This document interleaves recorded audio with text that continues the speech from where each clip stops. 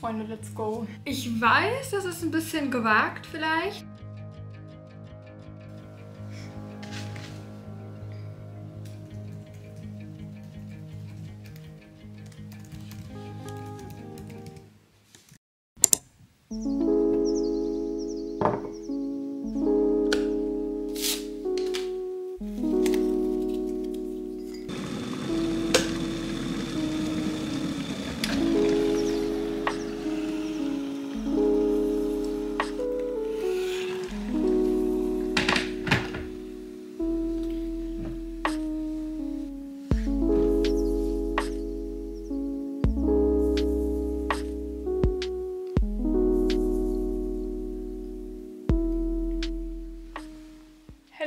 Willkommen zu diesem neuen Vlog. Ich stelle euch mal eben hier ab.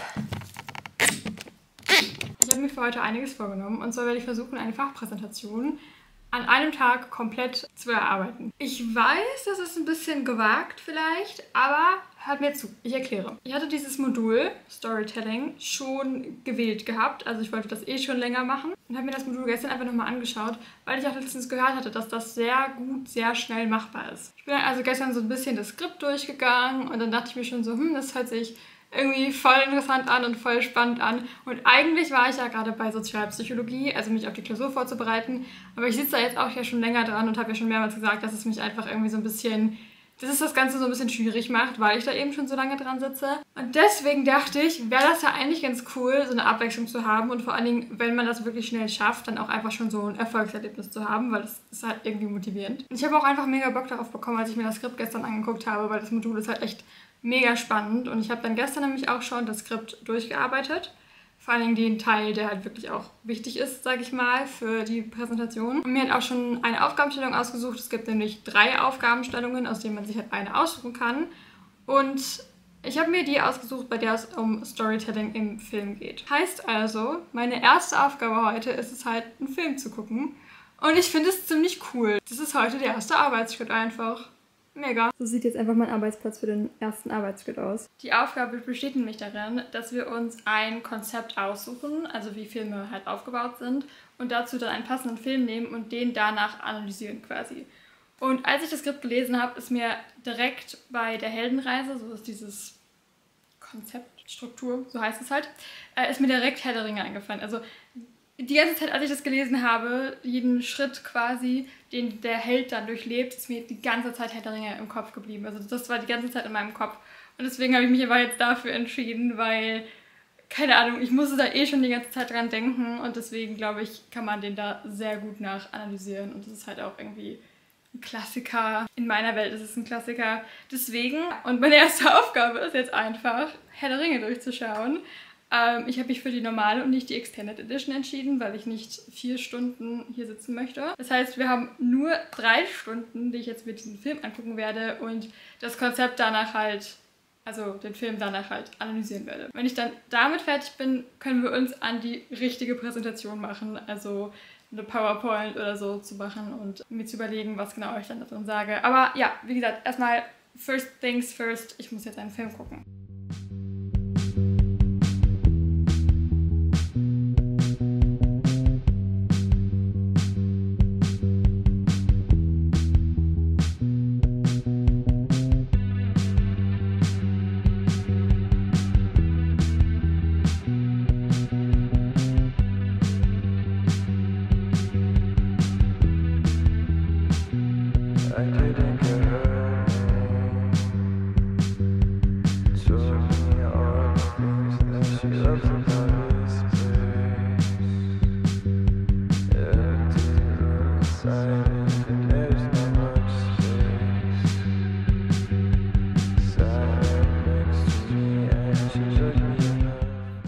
Jetzt hier einiges aufgeschrieben. Ich saß da jetzt echt auch wirklich drei Stunden dran. Ich habe die ganze Zeit während des Films geschrieben. Ich habe jetzt irgendwie hier drei Seiten voll oder so.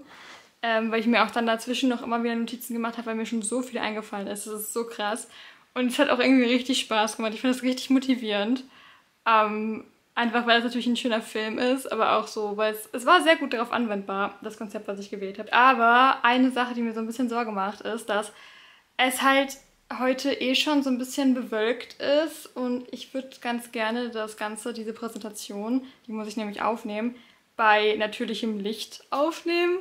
Und dann habe ich halt, also das geht halt dann immer ein bisschen schnell und die Wohnung ist eh sehr dunkel, deswegen bin ich so ein bisschen gestresst und habe Angst, ob ich das überhaupt richtig fertig kriege. Ich kann gar nicht einschätzen, wie lange es noch dauern wird oder nicht. Ich meine, es ist auch ein bisschen krass, das Ganze an einem Tag zu machen und ich habe ja auch gestern schon ein bisschen daran gesessen. Aber ja, ich möchte mindestens die Präsentation und alles heute fertig kriegen, selbst wenn ich sie noch nicht halten kann. Ich werde jetzt aber erstmal aus dem Bett kriechen und mir was zu essen machen.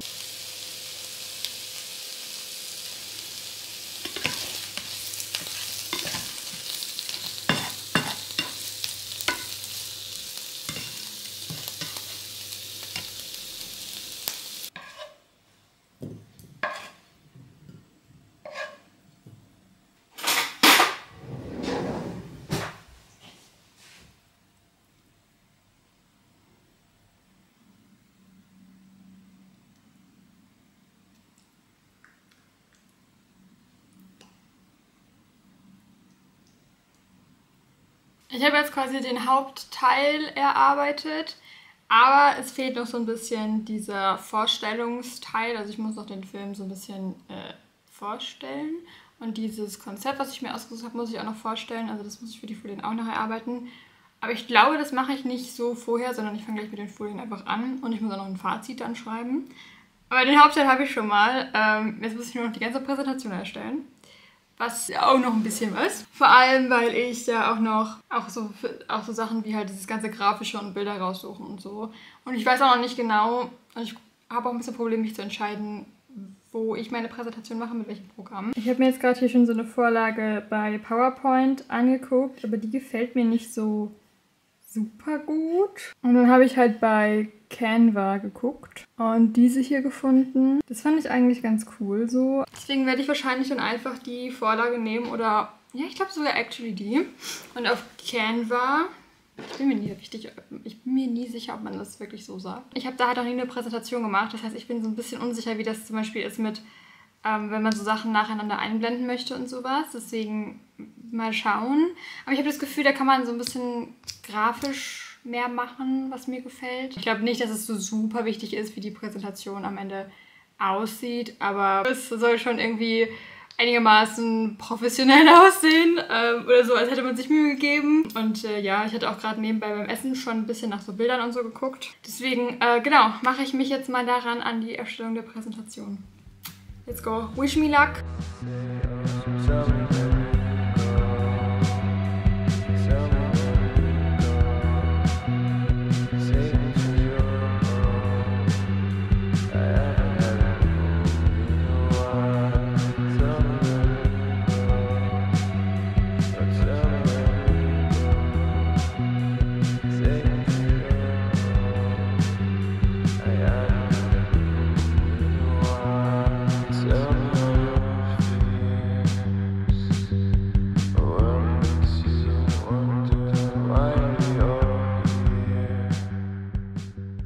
Freunde, der erste Teil ist fertig. Also quasi dieser Einleitungsteil so. Ich habe jetzt das Deckblatt schon gemacht. Ich zeige euch das einfach gleich alles mal. Und auch schon ein paar Bilder eingefügt. Ich habe bei mir überlegt, dass ich das mit den Bildern dann ganz am Ende mache. Dann ist es leichter mit dem Abbildungsverzeichnis und so. Aber ich habe so Spaß daran. Es ist so schlimm, weil ich mir gerade denke, ich habe nicht so viele Präsentationen im Studium, sondern ich habe halt vor allem Klausuren. Und es macht mir aber so Spaß gerade, das ist so schrecklich. Also falls ihr auch an der IU studiert und das Modul Storytelling habt, ich kann es euch auf jeden Fall sehr empfehlen, es macht, äh, macht sehr Spaß. Genau, ich zeige euch jetzt einfach einmal meine Präsentation, weil ich bin gerade sehr happy. Aber ob ich das heute noch schaffen werde, ich könnte es schaffen, aber ich muss halt mir noch überlegen, wie ich das Ganze präsentieren werde. Deswegen ähm, wird das vielleicht doch noch ein bisschen dauern. Aber ey, ich, ich finde sowas immer toll. Ich mag so kreative Aufgaben. Ich werde da so motiviert durch. Und jetzt zeige ich euch einfach mal meine Präsentation. Einfach mal meine Präsentation bis hierhin. Also hier ist halt einmal mein Deckblatt und diese ganzen Animationen, das ist mir wirklich viel zu viel. Das muss ich noch einfach machen. Mit dem, mit der Folie bin ich auch noch nicht ganz zufrieden. Ähm, auch hier muss ich nochmal schauen, aber ich wollte das halt einfach einmal schon mal so runterschreiben, damit ich schon so eine Basisstruktur habe quasi. diese ganzen Animationen, ne? Die sind mir echt viel zu viel. Dann haben wir hier einmal die Filmvorstellung. Ähm, ich glaube, das sind eigentlich ganz gute Fakten, die man hier nehmen kann. Habe ich hier schon mal so ein paar Bilder eingefügt. Mir gefällt auch dieses, diese Vorlage sehr gut, weil ich die sehr gut so auf meine Bedürfnisse quasi anpassen kann, wie ich das gerade brauche. Und dann haben wir hier das Konzept erklärt. Wie gesagt, ich überarbeite das alles nochmal, falls da irgendwelche Fehler noch drin sind. Genau. Also das ist, was ich bis jetzt habe und ich bin mal sehr, sehr gespannt. Wie gesagt, wie weit ich kommen werde heute. Ja, ich bin gespannt. Ähm, ich werde mich jetzt auch weitermachen. Ich werde mich jetzt an den Hauptteil setzen. Ich habe das hier auf meinem iPad das alles eigentlich schon aufgeschrieben. Ich werde mir da aber auch nochmal überlegen, ob ich da vielleicht noch einige Sachen abändere. Ich mache mich jetzt schnell dran, weil ich möchte hier auch weiterkommen.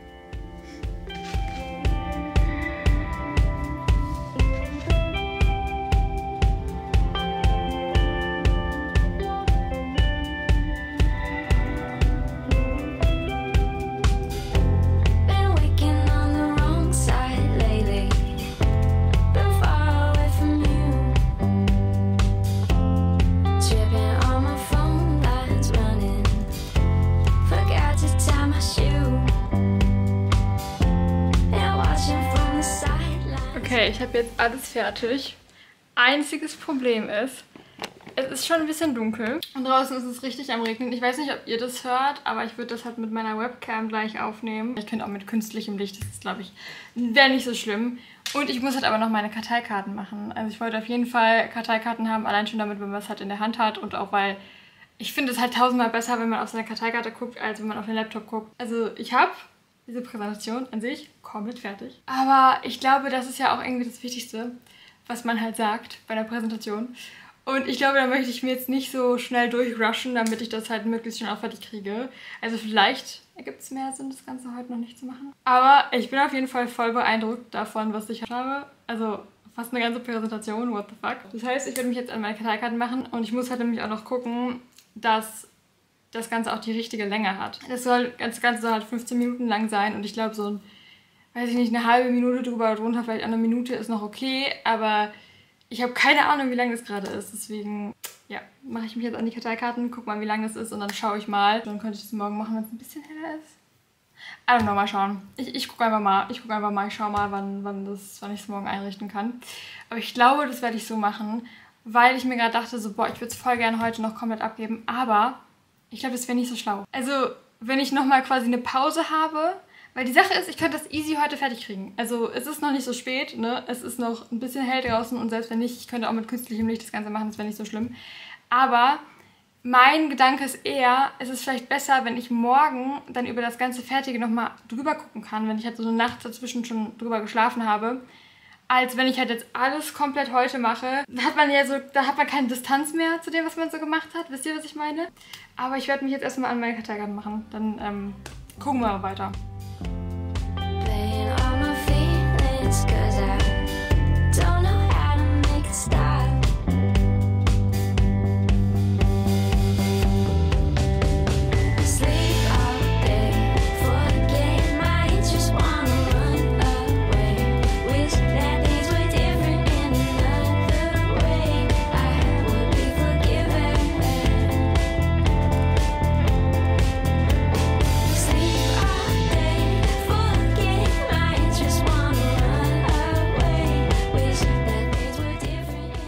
Jetzt so ungefähr die erste Hälfte schon mal fertig und damit ich nicht so komplett daneben liege nachher, werde ich jetzt mich einmal äh, das einmal einfach testen. Also vielleicht werde ich mich auch sogar extra so hinstellen, als würde ich den Vortrag halten. Kann ja nicht schaden, ne? Ähm, genau, den ersten Teil einfach quasi einmal, also so die ungefähr erste Hälfte einmal durchgehen und testen und die Zeit messen. Einfach damit ich so ein bisschen eine Vorstellung habe davon, wie lange ich halt am Ende dafür brauche. Weil äh, wenn ich jetzt schon, also wenn ich da gleich stehe und merke, oh, ich habe erst fünf Minuten geredet und bin aber schon bei der Hälfte, dann muss ich halt gucken, dass ich da noch ein bisschen mehr dazu schreibe. Und wenn ich halt schon deutlich über der Hälfte der Zeit bin, also der Beginn, und ich bin gerade mal in der Mitte, dann weiß ich halt auch, okay, ich muss beim ersten Teil schon mal streichen. Einfach damit ich dann am Ende nicht das komplett fertig gemacht habe und dann voll daneben liege zeitlich. Okay, Freunde, let's go.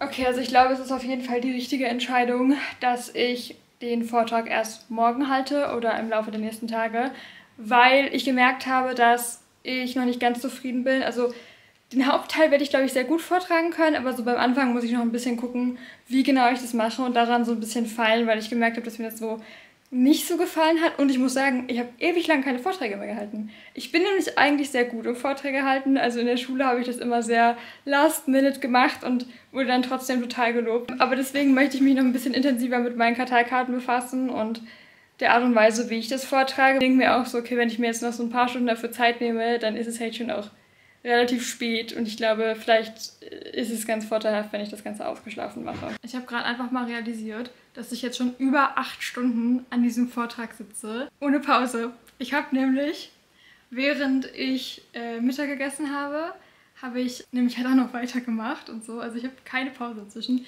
Aber das ist so eine Sache bei mir. Wenn ich halt einmal in sowas drin bin, dann bin ich drin und dann möchte ich das einfach weitermachen. Äh, also hört nicht auf mich, macht Pausen, ist immer besser. Aber ja, deswegen dachte ich mir auch gerade so, okay, nein, es ist äh, ganz gut, wenn ich nochmal ein bisschen Abstand davon bekomme und mir das Ganze morgen auch nochmal anschaue.